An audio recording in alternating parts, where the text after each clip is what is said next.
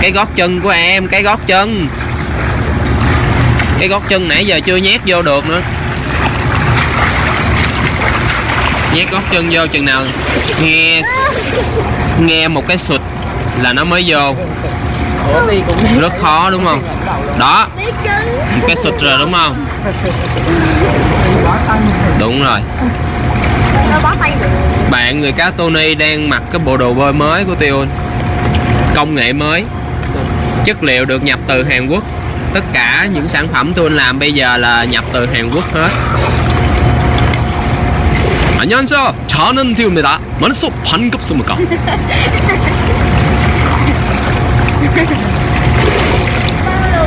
Chàng tiên cá tương lai. Em là người mặc biến hình đuôi tiên cá lâu nhất luôn á.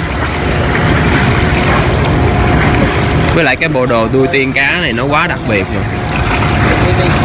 Bây giờ em là tỏa sáng còn hơn là siêu sao ca sĩ, ca nhạc nữa. Em lấp lánh trong bóng tối luôn rồi nè. Như đang lên sân khấu vậy đó. Rồi rồi rồi rồi rồi, chưa chưa chưa chưa. Đuổi cái da đuôi xích lên kìa. Ngồi xuống. Ê ê, ngồi xuống. Ngồi xuống. Đuổi lên. Cái phần này nó bị dư quá nè. Trời ơi, kéo một cái lên tới đầu gối luôn. Thấy cái đường chỉ ngay đây không? Nó là ngay mắt cá chân. Kéo xuống. Trời ơi. Biến hình người cá kiểu này hư nguyên liệu quá. Hư giải dốc quá. Hư sản phẩm quá, hai đường chỉ hai bên nằm hai đây. Rồi. Kéo xích xuống nữa. Trời đất ơi, cái ổng biến hình người cá kìa trời. Hành tôi dữ lắm luôn. Một tuần nay mà từ lúc mà bạn ấy qua gặp tôi anh muốn trở thành người cá bạn ấy gọi phone cho tôi một ngày năm sáu cuộc. Còn hơn anti fan nữa Dây giờ bây giờ biến Gì? em gọi tới 10 cuộc một ngày luôn hả?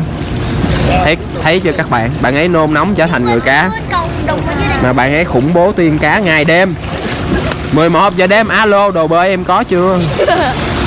Khủng khiếp quá. Ê đừng có xô bảo Tiêu nghĩ là sắp tới chắc còn nhiều anti fan của Tiêu xuất hiện để kêu Tiêu giúp trở thành người cá. Nhưng mà hy vọng đừng à, có anti fan phân cuồng giống như bạn này là chết Tiêu tiên cá chưa xuất hiện nhiều mới có mình Tiêu nè mà mấy bạn làm Tiêu mệt mỏi quá các bạn ơi.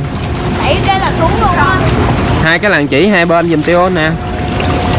Rồi. Rồi làm dáng tạo dáng thôi